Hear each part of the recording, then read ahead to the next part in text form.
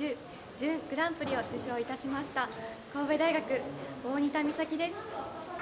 今まで頑張ってきたことが報われたんだなというすごい嬉しい気持ちとともに今まで応援してくれた家族や友達その事務局の方々に感謝の気持ちでいっぱいです。コートタワーが近くにあって写真映えするスポットであると同時にカフェもたくさんあってデートスポットや友達との遊びにおすすめです。おすすめの食べ物は、えー、元町中華街にある老少期というお店の豚まんです。早く兵庫に帰って食べたいです。ありがとうございます。人とのつながりを大事にすることです。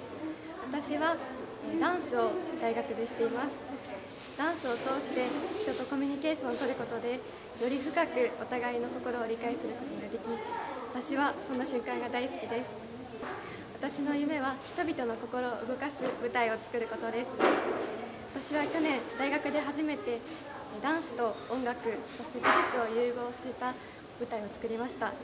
その中で気づいたことは芸術の中で一番大切なことは技術ではなく楽しむことなのだということです。